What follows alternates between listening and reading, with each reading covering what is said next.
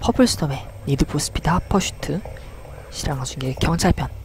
Fox Lair Pass의 Protect and S, Swerve? Swerve? 아무튼 프리뷰입니다.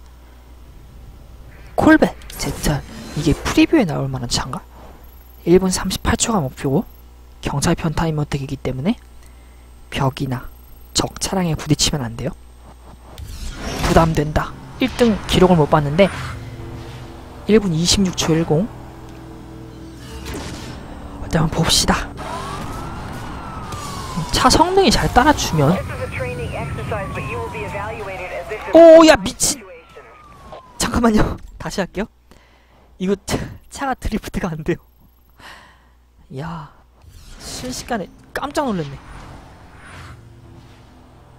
아 처음에 그니까 중요한 건 첫 코너링이죠 첫 코너링은 얼마나 제대로 들어갔냐에 따라서 그 차의 성능이 결정이 되는 건데 아, 방금 전에 아까 가벼운 마음에 툭 드리프트 버튼 아니 드리프트래. 브레이크 버튼 눌렀다가 큰일 날 뻔했습니다. 지름길이 있는데 이걸 타! 다시 하겠습니다. 망했네. 망했어. 이번 판은 망했습니다. 아이 그럴 바엔 지름길 타지 말라고. 세 번째 도전입니다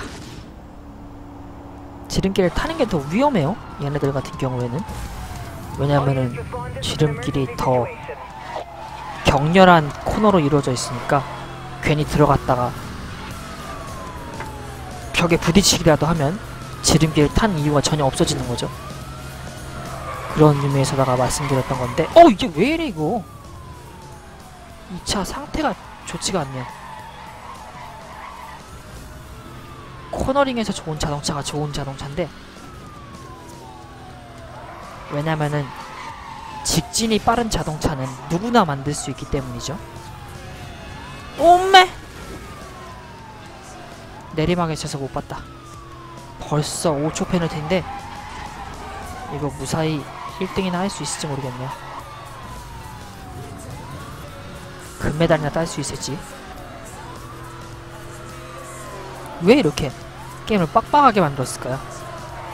와, 이 차 성능 봐라, 씨. 미쳐버렸다. 브레이크 정말 세게 밟아줘야 돼. 야, 아, 또 부딪혔어. 드리프트 중에 너무 바깥으로 빠져요. 도저히 용납이 안 되는 성능이다, 진짜. 이거 보세요. 바깥으로 쫙 빠지는 거. 마음에 안 들어. 일단 클리어는 했는데, 어, 다시는 타고 싶지 않은 차네요. 이래서 브랜드 가치가 중요한 겁니다. 다음 시간에 뵙도록 하겠습니다. 감사합니다.